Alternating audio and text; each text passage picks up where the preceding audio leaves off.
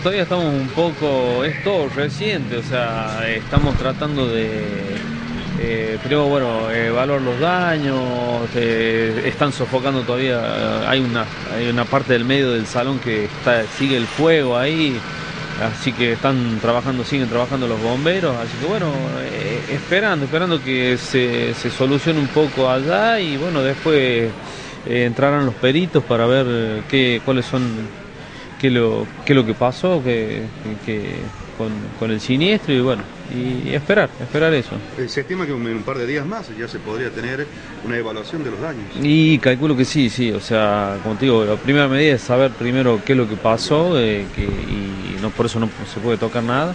Y bueno, después entrar y ver a ver qué, qué digamos, eh, en este momento también el contador está trabajando en base al, porque era bueno era salón de venta y a la vez depósito, o sea que bueno estamos viendo a ver qué eh, se, hará el balance de, todo lo, que había, lo que no había. Las primeras investigaciones dan cuenta de que podría tratarse de un cortocircuito lo que originó el incendio.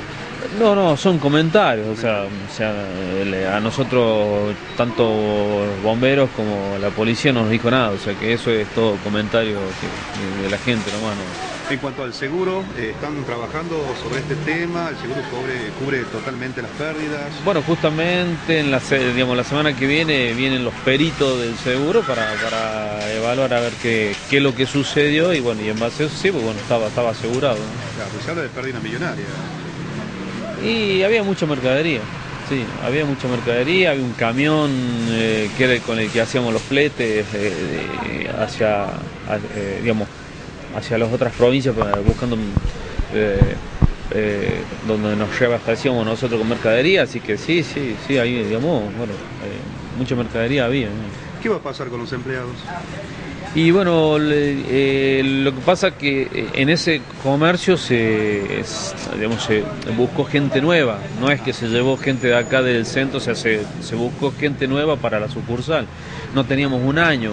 Eh, así que bueno, lamentablemente no podemos tener eh, todo el personal acá porque bueno, eh, es imposible, sería imposible tener dos negocios en uno.